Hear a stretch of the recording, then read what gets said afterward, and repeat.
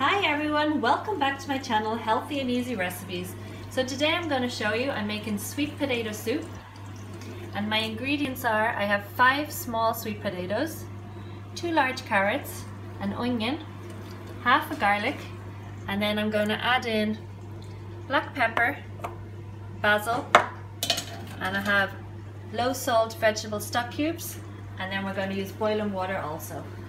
Let's get started. So my first step is to peel and chop all the vegetables.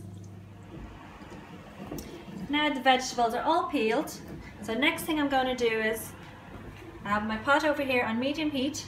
I'm going to add in the vegetable stock cube and add it to boiling water. Give that a stir in.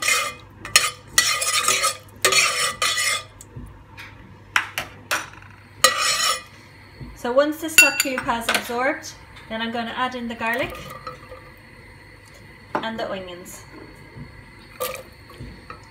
Give that a stir in, and then I'm going to cover over and leave that to boil for five minutes.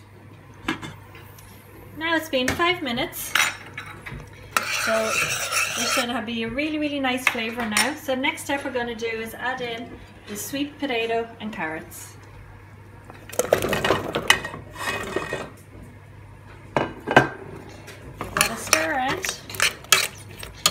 And then we're going to fill the pot to cover over the vegetables with boiling water.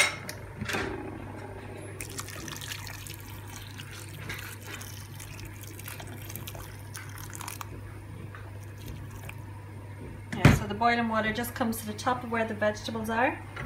And then all we have to do next is put the lid on we're going to leave this to boil for about 45 minutes and then we'll come back and check and see how it's doing then.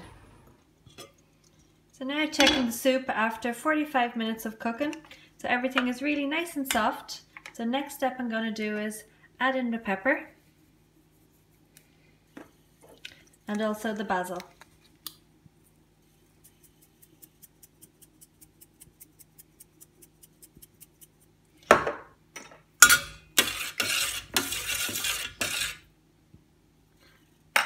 The last thing I'm going to do is I'm going to add in a little bit of milk just to make it creamy.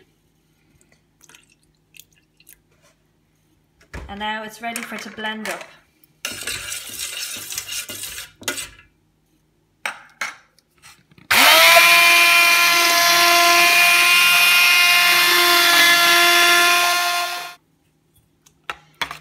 Now it's blended all nice and smooth, really nice consistency.